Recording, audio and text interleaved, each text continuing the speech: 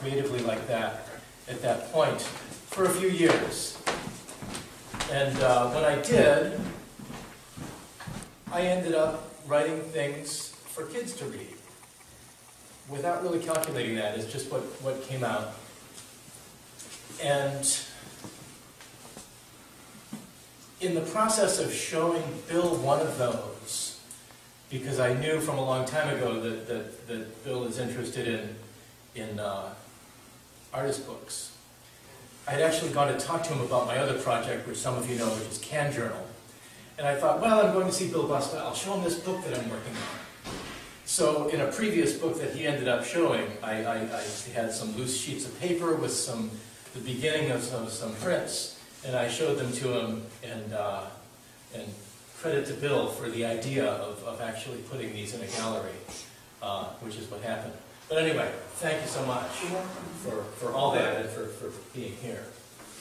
Well, one of the one of the things that you know, as, as I was thinking about talking to you and, and think, and, and, also about what an audience might be interested in, and, and of course, one of the questions that the public might have about any artist doing anything is why go through an ex such extraordinary trouble to do this. What, what is it? What, what is it about? I mean, why make a handmade book? You know, we're living in the 21st century. You can just do something on blurb, and poof, it's there. They print it for you. It shows up. It shows up at your door. Um, and I thought I would just say, start with a few remarks about artist books. That that is that is a somewhat tangled web of, of, of ideas that has brought us to the present. But just to place your books a little bit in context, and I think that first of all to say that everything that we that we think of as a fine art print today uh, pretty much started out as simply as a way to reproduce text and images. It was it was not intended to be quote unquote fine art. Uh, lithographs first were generally used to do posters, and was a great poster medium. Wood woodcuts, uh, relief cuts, uh, those were books. Uh, you know, we, we talk about Gutenberg uh, gets the credit, you know, for, for bookmaking, but what Gutenberg really invented was, which you become expert in, is movable type. There were books before Gutenberg, except you had to carve all of every single page. Uh, and, and that was very time consuming each letter, but Gutenberg figured, we can, we can reuse these letters, we can do that. Um, the artists, so, so one, I have a few examples of some things, just, just because they're fun we can sort of pass them around a little bit. This isn't really interesting except for, oops, the cover. And this is Cleveland. And this is a, this is a sort of an idea. This was done by the this book was created. Uh, it's it, actually the cover is about the only thing that's really interesting about it because it's it's hand printed, some relief prints of Cleveland, and it was done by Empire Junior High School in Cleveland in 1922. That, that, that printing was a way, printing was something that was taught in the junior highs and the high schools because that was one of the jobs. There's a big industry in Cleveland. That was one of the jobs. So just you can take a look at the inside. The type was was said. It was if you look at the quality of the printing throughout, is obviously by children, uh, by, by junior high school students.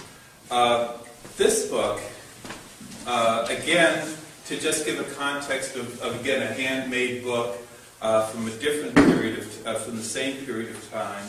This was with lots of extra pages at the front. Is be gentle with this because the pages are uncut. It's called The Making of a Book. And again, it's with relief prints, and it's with hand set type, and this is from Cleveland, Ohio, Fairmont Junior High School, 1920. So you can see all kinds of all kinds of little things, and this was this was this these were carved and done by junior high school students. So that's again something a little bit of it, but. Um, I think that if we go on a little bit further, that what happened is that in the 1950s, there was an artist by the name of Antonio Frasconi, and a great, great relief artist. And he became, he, he chose to have his principal medium doing books of woodcuts. Uh, and he generally he had them printed uh, on a letterpress or on a, on, a, on the or on a Vandercook proofing press like like you're using. Uh, in additions of about 500, um, you know, thinking back in those days, it's it's it's kind of what he found out. This is this is just the the the, the problems. Similar to what Michael encountered in doing and how you solve them. One of the things he discovered is if you wanted to have color images, it was faster to print in one color and then hand color uh, washes of two or three different colors on top of every single image than it was to, to, to print with multiple blocks, uh, which he, he did that a number of times. But, but so there's that strain of ideas going on. Uh, and one of the things about artist books is, is and I think it's, it's a way to look at Michael's work, is that, um, first of all, in some ways they're not hard to understand, but in another way it's easier for a five-year-old know, five-year-olds know how to look at artist books. They know you look at the pictures. You think of Maurice Sendak's books where the, the words in some ways are almost nonsensical, but, the, but they carry and they offer a sort of a, an image's way to carry the, carry the, the, the, story flows through the images and um, but children understand this. They don't know how to read words, but they know how to read the sequencing of images. And that's another thing about, and it answers the big question, uh, at least as far as artists have been doing, is why do you do a book? And one of the reasons that you do a book is that you can't see all the pages at once. And the artist puts them in an order. And you see something, and you turn a page, and then you see something else. It creates a sequence, a series. It's, it's, you, can, you can sort of say, okay, this is a little bit like a movie, uh, but it's also very much like a book. Uh, it's, it's, it's, it's, it's, the artist is organizing your experience, and in order to see the next piece, you have to put the first piece, you have to put the first image away unless you want to come back to it. And it's that, it's that back and forth that creates that, that creates the, the, the reader as a participant. Now, is that what you thought all along, or what? What made you? What made you? Why? Why were you? So, why, were you sort of getting into why a book? I mean, that's that's the big question here. Yeah, for me, it, it's it's a book because I came to it as a writer. Like I, I think of them in exactly that way, as as a serial unfolding of a story. I certainly start with the words. Uh, in, in, in the case of this book, the words, except for the last stanza or two, were done three years ago or something like that. Um, and, uh, and they were the impetus for the whole thing. And then the pictures, you know, initially, they were just to go with the words. Um, I, I uh, the first of these books that I made, I never considered, and you can tell by looking at it, that I would make pictures to tell stories. Like I wrote, uh, I, I, took some characters that my kids invented. Clamboy, my son invented Clam Boy. Uh, Clam Boy is like Spider-Man, except that when he shoots from his wrist isn't spider webs, it's clams. and they swarm all over the bad guys and pinch him until he's subdued.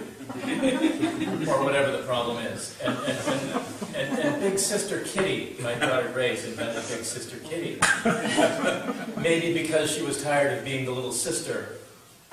But, uh, you know, the, these, these I just took these two characters for my kids and started telling stories using them, and the stories that they have in common are about picking up litter and making the world a better place. So they go out and in one case they pull one of those blue plastic bags out of a tree.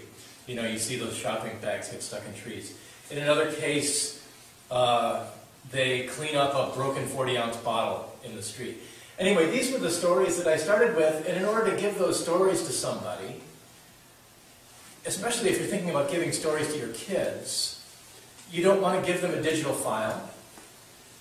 We're not really anymore just passing along the oral tradition, like I'm going to teach them to memorize these stories. um, didn't want to do photocopies.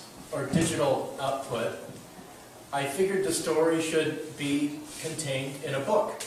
And uh, having a writing and not an art background, um, I just stumbled around looking for a way to do that. And so I came to linoleum block. You can buy linoleum blocks at Pat.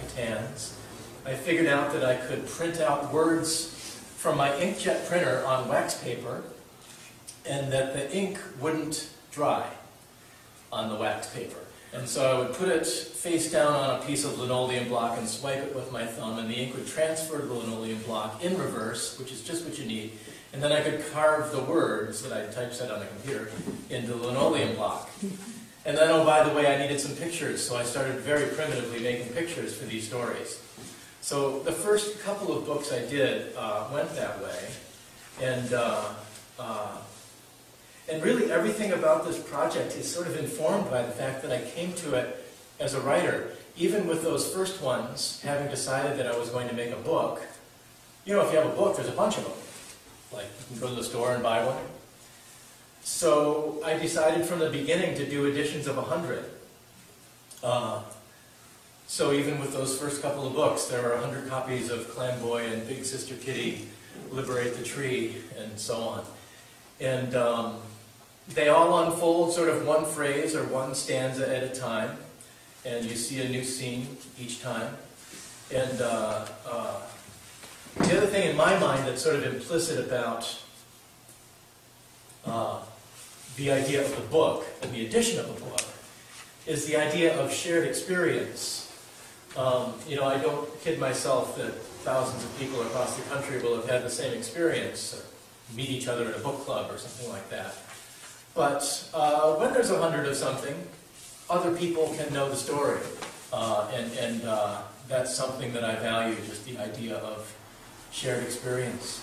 You know, you know, there's, Michael, there, it's, it's very interesting the number you picked of 100, because, because part of um, the history of artist books has a lot to do with that 100 number. And that's in the, in the 19, um, you know, again, again, you had these people making these, these, these special books like Frasconi, and then there was this other category called Livre d'Artiste, which were like six etchings by, uh, by, uh, by, by Picasso and a poem by, by Yeats or something, which were going for thousands of dollars. And that was another category of thing was totally, but then a group of artists got together, including Sol LeWitt, and started a bookstore in New York City called Printed Matter. And the big question that, which still exists, and is still a bookstore of artist books, the big question that they had to ask was, how do we differentiate between, you know, things that are basically handmade and uh, things things that are meant for a, the type of distribution that you meant? So they made a rule that they wouldn't carry any book that had a print run of less than 100. Uh-huh. So, so there's all these artists, frankly, whether or not there were 100 ever printed, but in the colophon, it always, it always states an edition of 100, so they could submit it to printed matter and hopefully get into the bookstore. We actually stopped in Printed Matter earlier this summer. I hadn't been there previously, but uh, took the family trip to New York and, and, and stopped at Printed Matter, which was interesting. Um, in talking about the evolution of, of these, and, and, and I'm particularly stricken that those, uh, those books that Bill brought were produced in schools. Um,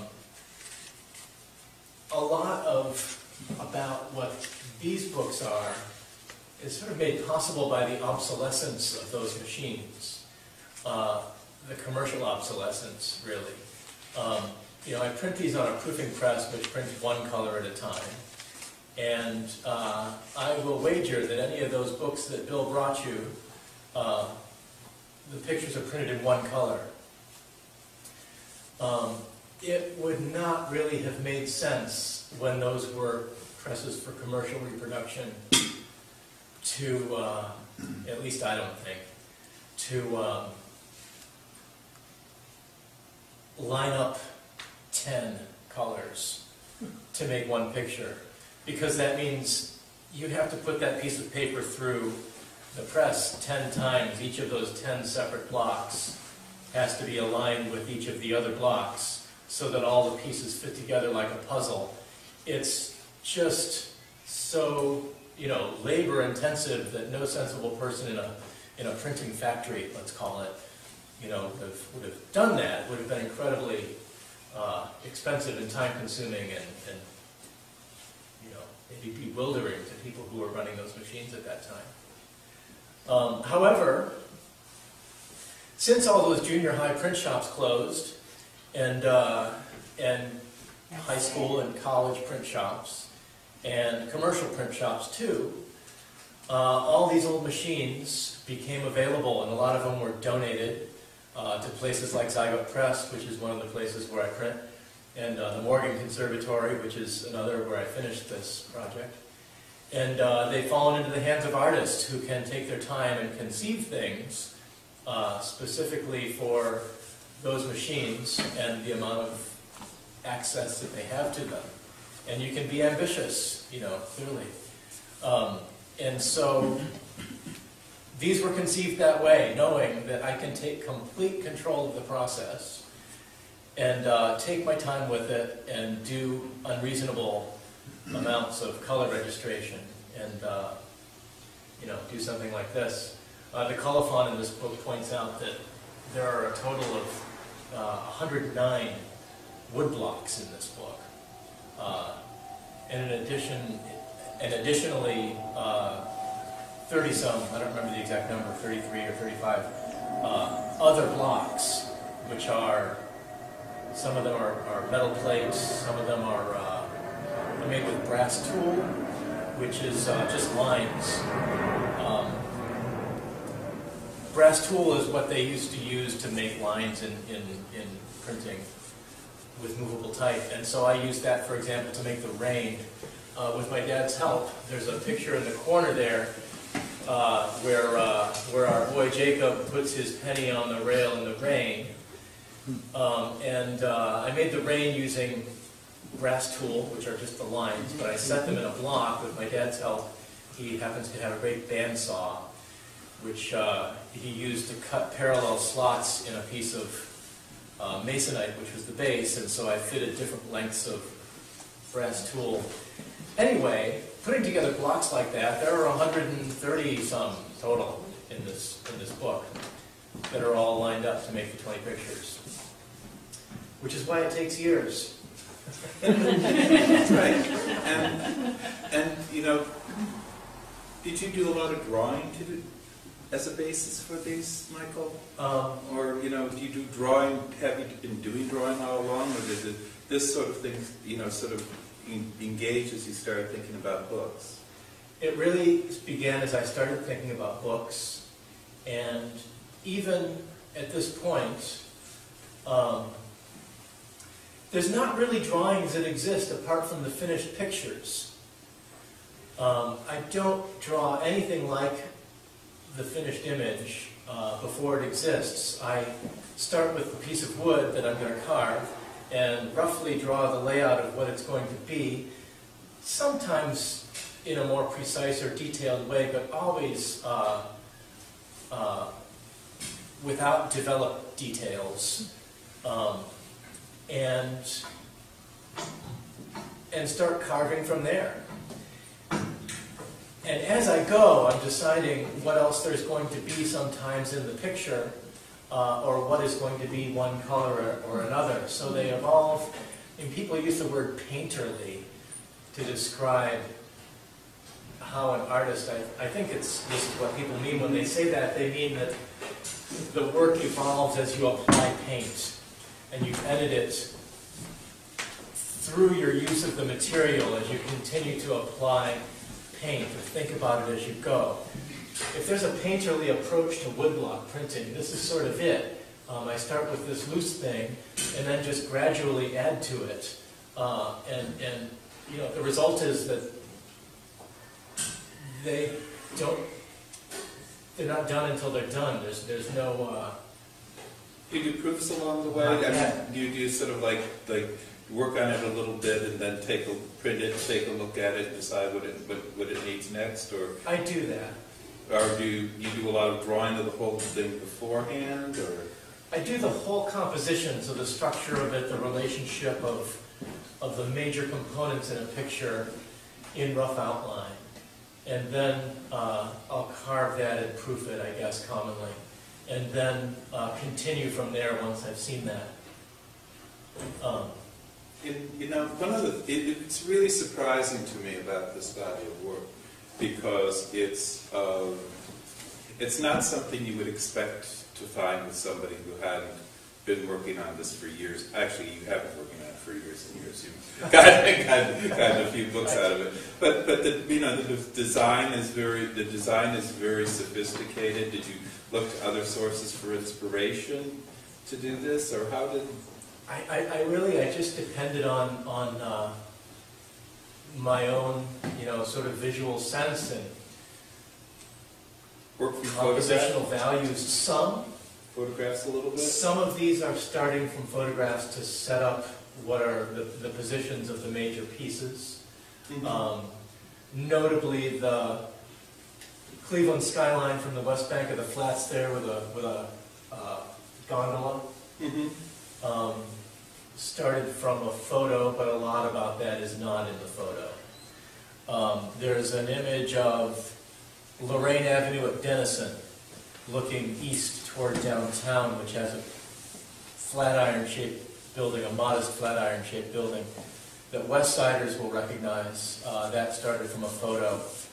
Um, a couple, but not all, of the close-ups of hands Mhm. um, began with photos uh, to give myself a sense of proportion, you know, determining the distance between where the hand was and, and where the tracks were, so that I knew about those sizes, you know, with relationship to each other.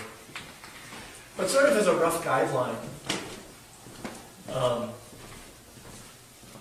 you know, the other thing that's, as, as- I've gone about these, that's evolved quite a bit is, um, just by getting more intrigued by the process and what's possible and how the materials behave, um, and, and sort of seeing what I could do by trying it.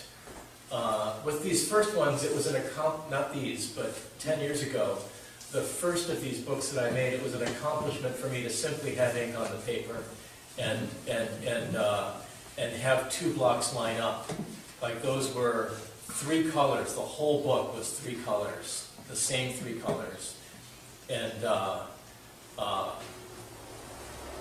and not detailed, I mean, that, that was what, where I was, you know.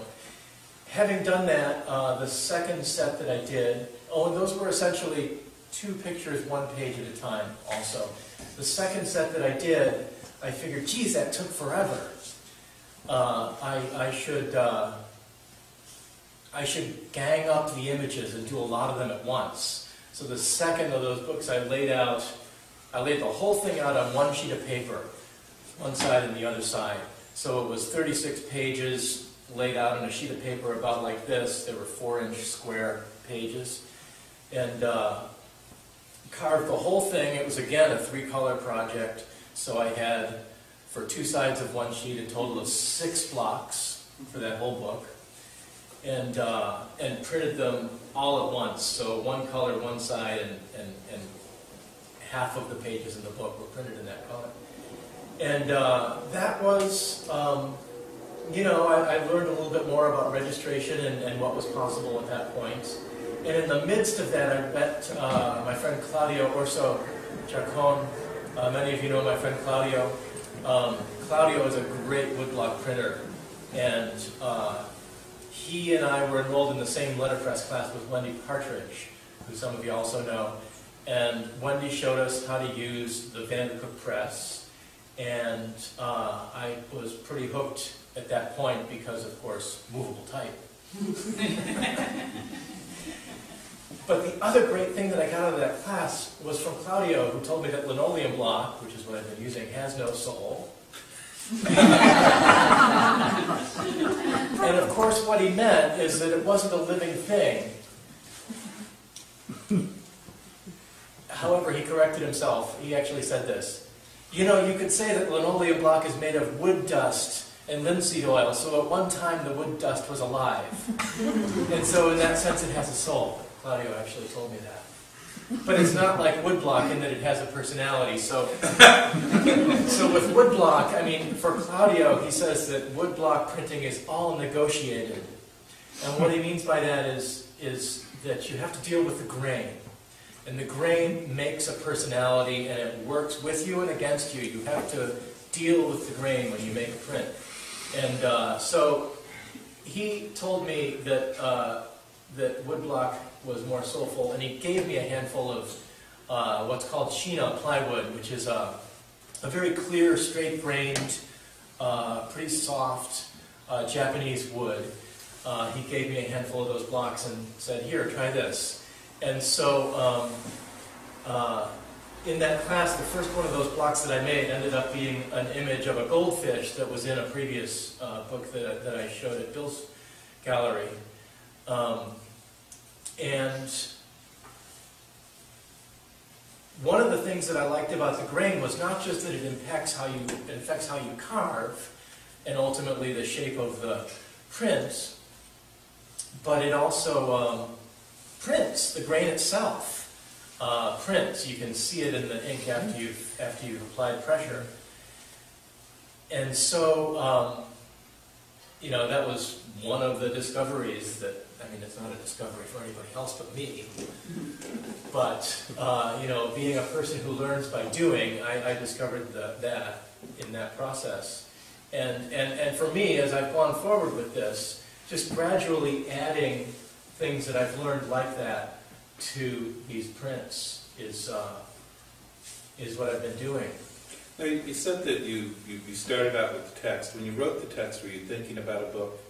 Absolutely. And so that was, that was, and I know in, in the previous book, Common Household Rhymes, a lot of, a lot of the rhymes, maybe two pages went together, and then there was one extended, this more, more extended story of a, sort of about bicycles that, that went a little bit further, but it was, it was, it was not, it was not an ongoing narrative, but you conceived of this as one piece. Yeah. And, and, and then with that text, I, I want, want to talk about, you know, the content a little bit. Um, the, one of the things I notice about all the images is that they're not from the, is that they're clearly from the perspective from a bicycle or from a pedestrian. They're not from the perspective of an automobile. They're, we're, we're not, we're seeing, we're, I mean, it's, it's, it's subtle, but it's very, very, very specific, I think that it's a different way, it's a different way of seeing and it's a different way of responding to. And, and part of the difference, of course, with the bicycle is that in, as a pedestrian, we're usually on the sidewalk and the bicycle, you're on the street. So it's, it's almost a very specific bicycle point of view. Were you thinking about that or? Um, I guess I have to say that sort of evolves naturally. Um, when I when I have begun these, and I, and I should say, looking at, at, at common household rhymes, um, uh, I guess I just wrote some of those were all individual poems, as you said, and the first few of them, you know, came about really before I had thought that this should be all collected as a book. And I think that they were written while I was still working on some of those previous things. And so uh, it was when I had a couple of those done that, uh, that I decided that this is going to be compiled all together. And, um, and actually, one of them that is in this book, the one about the nickel, uh, he put a nickel on the track, and when he came back, it was silver, smeared oblong, a shiny puddle of tears. I have five cents. A mutual friend, uh, David, uh, whose wife, who, who- and his, his wife at the time, Mary Ann, uh, uh, I wrote that when, when David was still alive, and, and, and it- I gave that to them as a gift. It would have been like 1995 or 6. Uh, and then that just was in the past, generally speaking. And then as I proceeded making these, um, I compiled that one, uh, that, that first book that you were talking about, Common Household Rhymes, uh, from, from individual, you know, stories or individual rhymes. And then when I decided to do this one, it was because I had remembered that rhyme about the nickel and thought, well, this is a great skeleton of an idea. if I develop that with, uh, you know, through all the money, all the coin values, it could sort of build as you go from a penny to a nickel to a dime to a half dollar to putting, you know, a silver dollar on railroad tracks. And as you get up in value, that the kid could think about what he's doing and what is the risk, or what is he losing, what is he spending, what does it mean to uh, waste a dollar or to spend a dollar in that way? Have you made another thing, or have you just wrecked a dollar when you put a dollar on the track? And so it sort of builds, uh, I guess, suspense, and he certainly thinks about it and has a moment where he's questioning what he does as he gets to the point where he's maybe going to put a silver dollar on railroad tracks. Um, and then in the end, he just decides he's going to go through with it, and he does that too, and it's over. Um, in any case, that whole thing began with something 15, 18 years ago that uh, sat by itself for a while, and um, and starting with that, I just conceived that I would build this whole thing, and uh, and then it would become uh, a book like this. It feels like an odyssey. You know, it's that's that sort of adventure that crisscrosses the city. Mm-hmm. That um, and it's in, in, in a way it's a it's a little it's a little bit of a love note to Cleveland. There is that. Uh, yeah, I like the arc, and that was definitely a change from the first one. The, the, the earlier book, Common Household Rhymes, is this collection of individual stories, and they're about cats and mice. These are very domestic and nice, and not ironic. They're just nice. Uh, this particular, this this new book, um, I wanted to have an arc. I wanted to have something happen and have them all more connected. And as it went on, it became more of a love letter to Cleveland. Like it, it initially was just, you know, uh, going to be the skeleton of what it is, putting money on tracks. But as I began to draw those pictures, of course I referred to the tracks near my house, which is in Lakewood. And uh, when I made this first picture, the first one actually is, is the boy going out on his bike, right over there above Josh and, and Lauren's head. Um, uh, that looks something like my street and a little bit like my house, but it's not really. But it really looks like any street on the west side of Cleveland or Lakewood. Uh, that's sort of the vernacular style. And as I continued with that, um, it occurred to me to build in some specific scenes, but then also to include some details that might not be in specific places, um, but that are definitely very specific nods to Cleveland. Um, and those include uh, uh, graffiti details that you see here. Um, some of you know that I've paid attention to graffiti for a long time.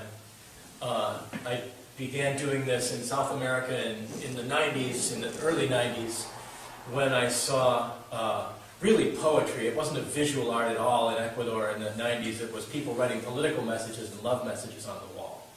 And I was captivated by that, and I walked all over town and collected it in, in a notebook. Anyway, um, back in Cleveland, what people do on the walls illegally is a completely different thing. Uh, it's visual.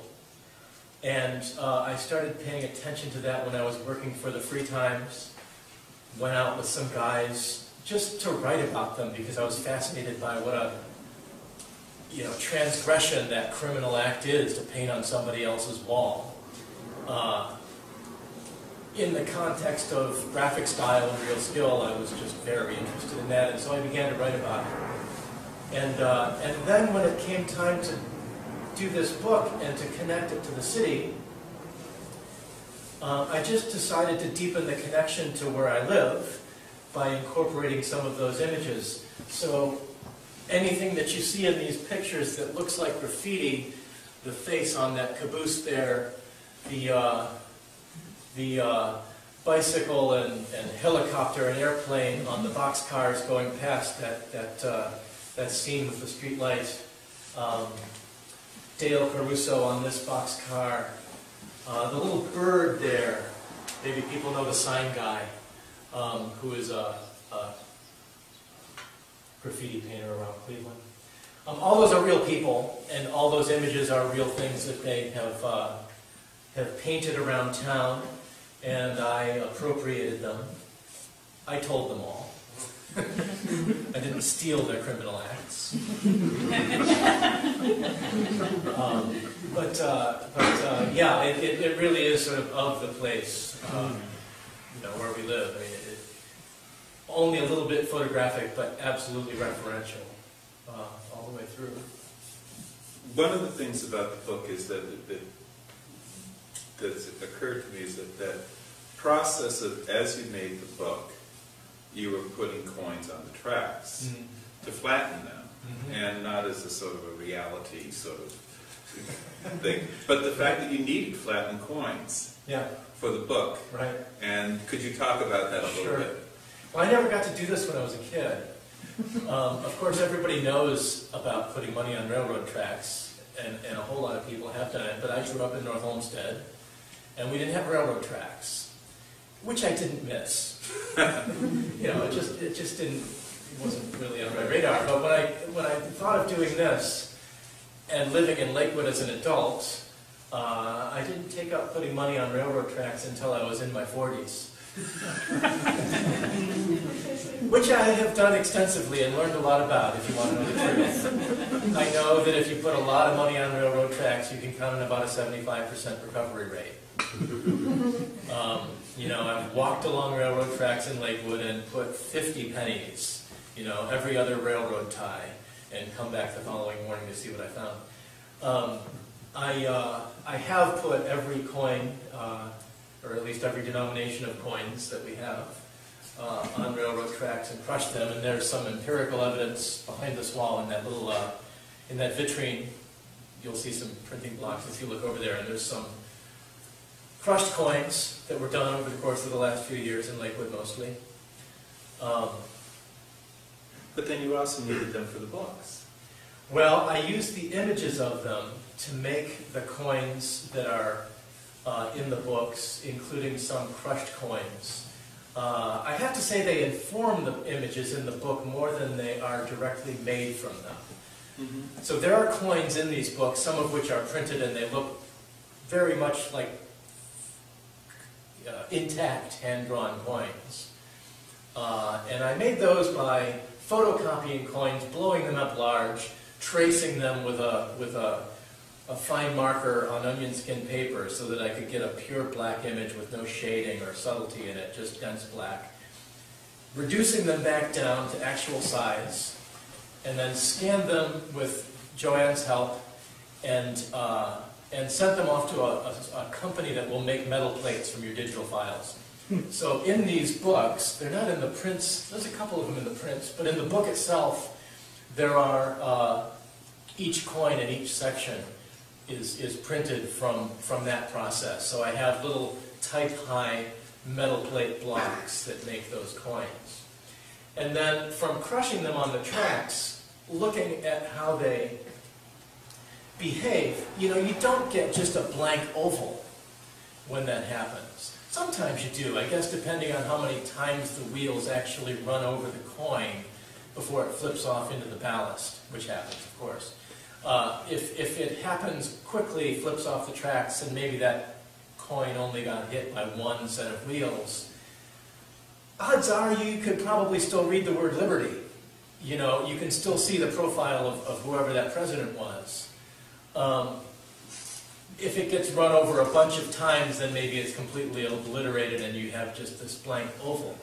But considering that there are some details in these images, like the quarter there, uh, and the half dollar right behind me, there are streaks from, uh, you know, just abrasion or the sort of smeared quality of the silhouette and the, the writing so that maybe it's still legible, but it's very distorted and elongated. So I, I, I uh, used actual crushed coins to, to inform what those look like. Uh, they're not actually directly printed from them. I have one more question, and then I'd like to sort of see if the audience has questions. But the, my, my last one is, is, is the, is the protagonist in the book a hero? Is he a hero? That's a good question. And I would say yes. Uh, and, and, and I'll tell you, this was written except for the last couple of stanzas. Um, years ago, like two years ago, let's say. And I was well into making these pictures before I knew how those last couple of stanzas would go. Uh, and I decided along the way, after, what I had to consider was, is he going to crush the dollar or not? like he's gone through this whole process. And when you do that, you think, you know, a silver dollar, I mean, it's a buck. Actually, if you go to the store and buy a silver dollar, it's more than a buck. It's, it's uh, even if it's even if it's a crappy silver dollar with copper in between the layers, it's a few dollars. And if you go out and buy a real silver dollar, it might be 25, which I didn't do. Uh, but, you know, is he going to, is, is, is the result going to be, this is getting expensive, I'm going to be a sensible kid, I'm not going to crush the dollar. This is just too much. Is that going to be the lesson? Or is the lesson and the end going to be, screw it, I'm going through with this. This is an interesting project.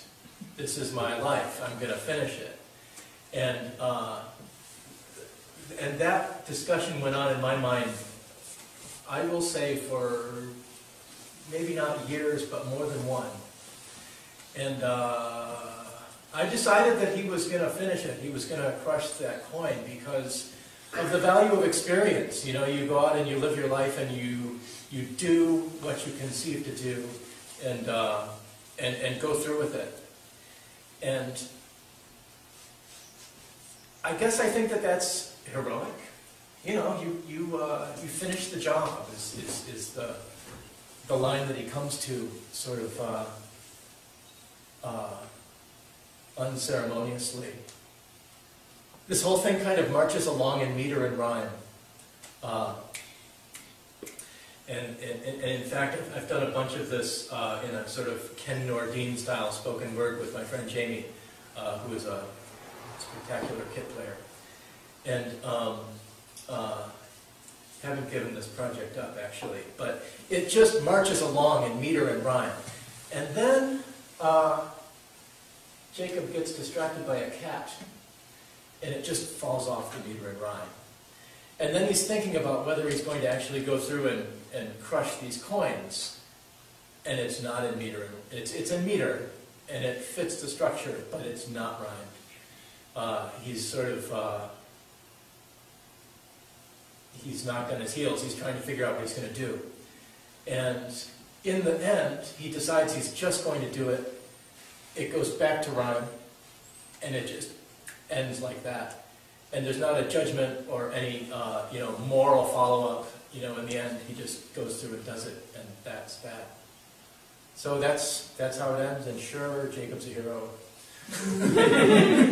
I, I wondered about that. I noticed. I noticed the, the, the rhyme scheme was very particular mm-hmm. and irregular, uh, as as well. That was, was sort of fun.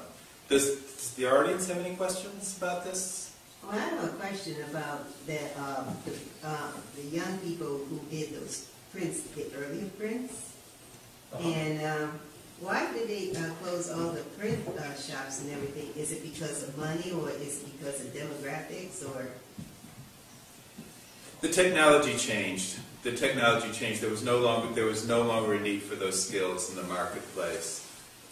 Yes. I, I did some of that printing in junior high school in the fifties, Uh-huh. and, and it was very elementary. We didn't do books. Mhm.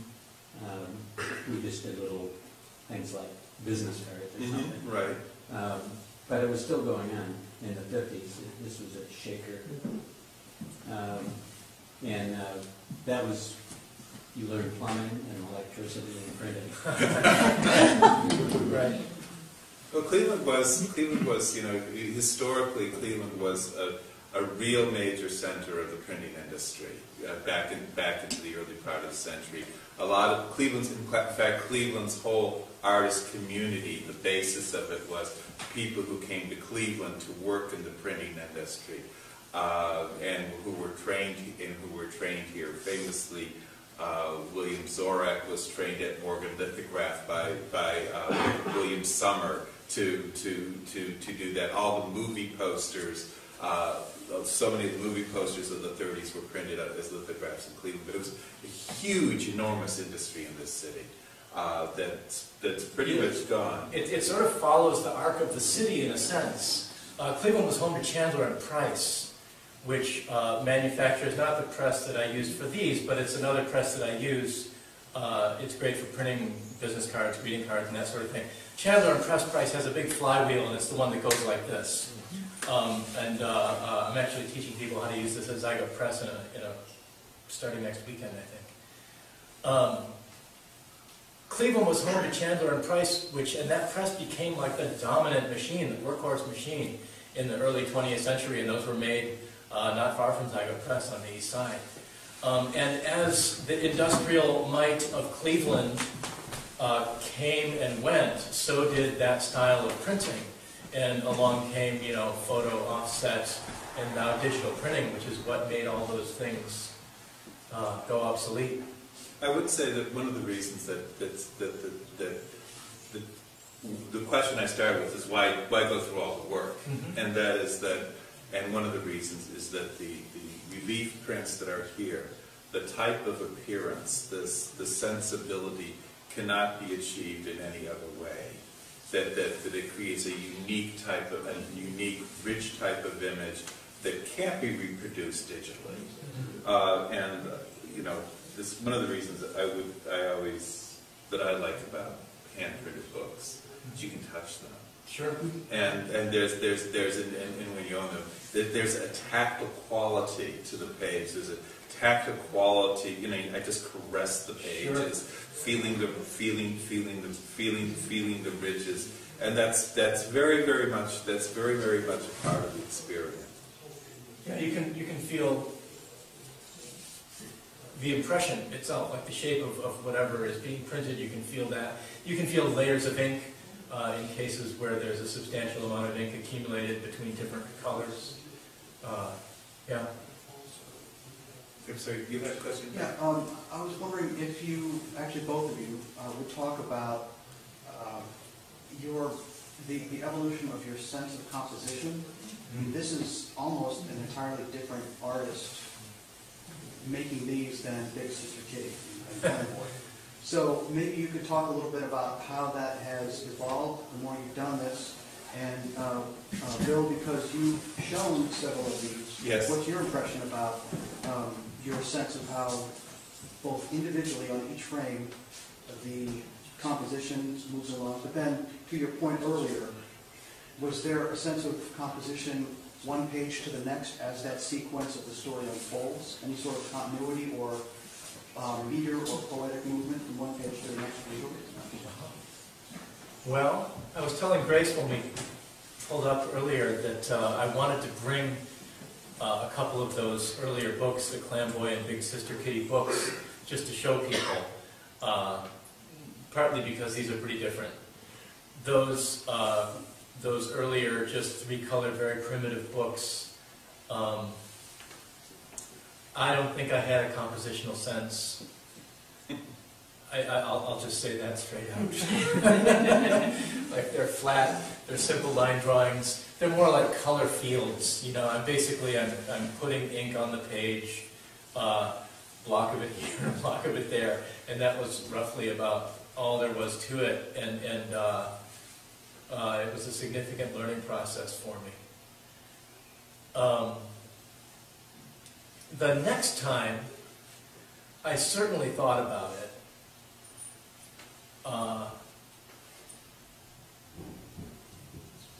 And it would be difficult for me to tell you how, because I don't have, I don't have an art background.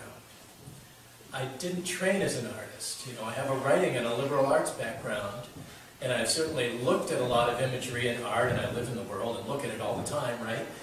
Um, you have a sense of what is balance and uh, uh, how things relate to each other proportionally.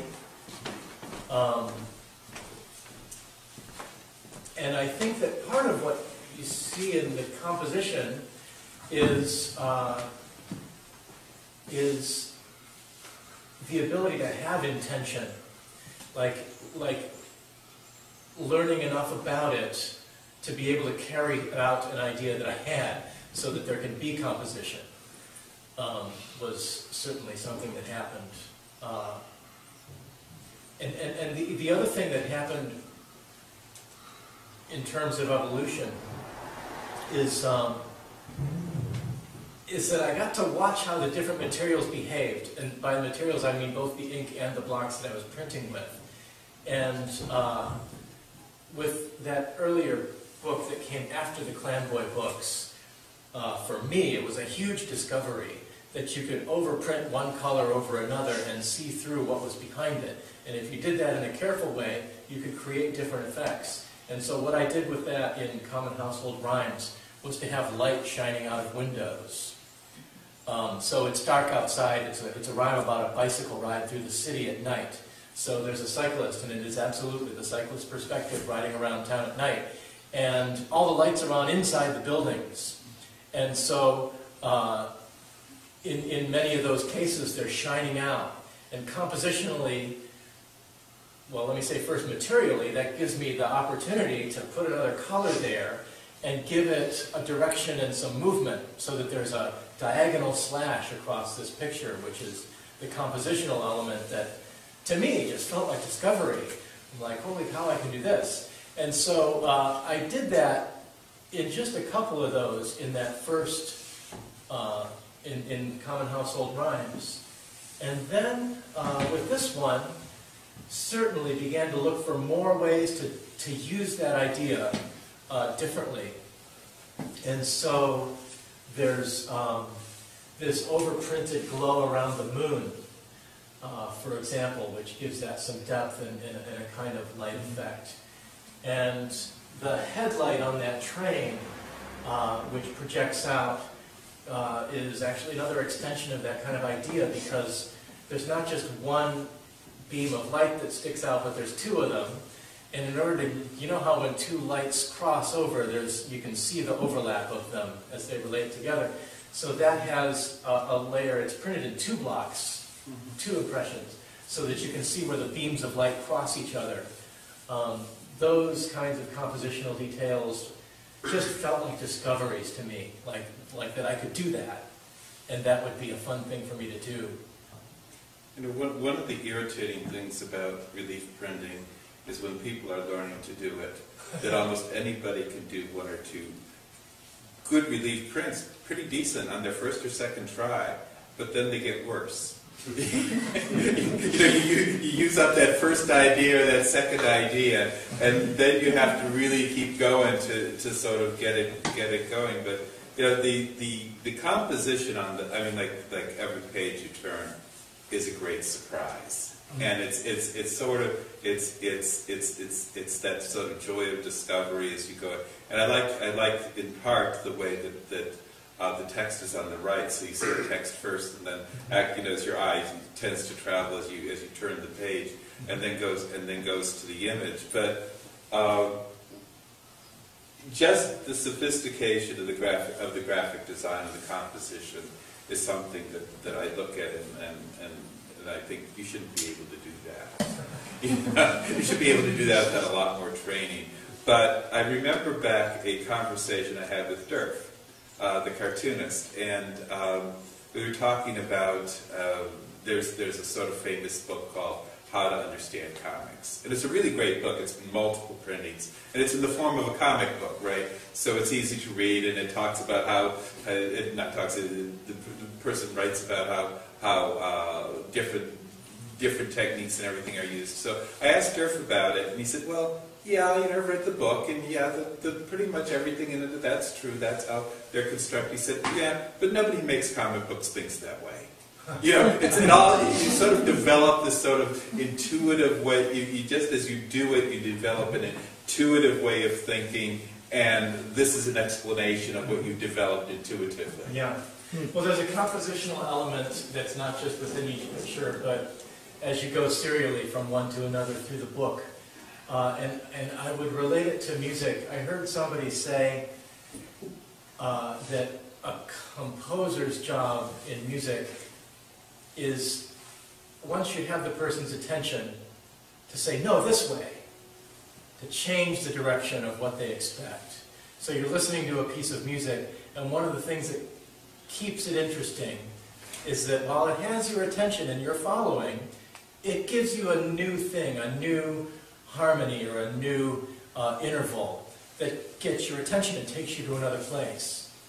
And um, visually, for me, that plays out in these. One of the things that I've meant to do uh, is to shift these perspectives so that uh, they go from landscapes in this uh, macro perspective on a neighborhood to these close-ups where it's a hand.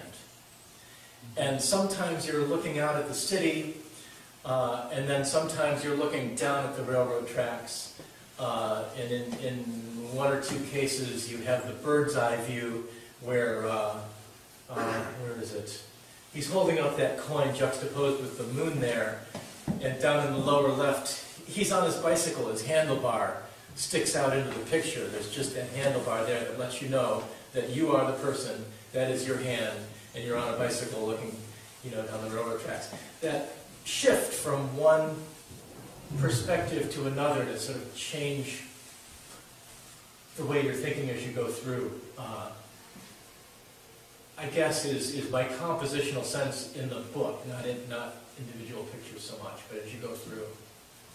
Take one or two more questions and then let's close up. Yes? It's not really a question, but in, in line with that, I love the, the personal nature of it, that you're, you are guiding our brains as you go through in and out and all around. It's very personal because it's a book. It's the most awkward thing to try and display on the wall, a book, but that, it, that it's a whole experience, the story. Yeah. Lauren?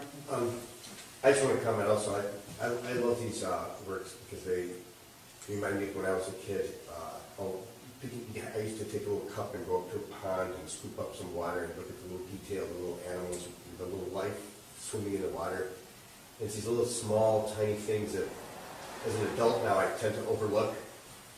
And uh, I see these as uh, almost thinking like a child, these uh, art pieces, looking at little tiny snippets that as adults we overlook. But, and then the honesty of the draw, uh, the printing and the, the images is the same way. It's, they're obvious, but like how could we have overlooked them kind of thing. Well, I think we're going to wrap up now. Um, Both, both, both Michael and I will be available and hanging Yeah, I'll around. just be milling around. You could ask, ask us the questions Come up personally. and talk, Deneen, please, uh, you know, just, uh, just come up and say hello. And, and thank, thank, thank all of you for coming here and for your interest in the book.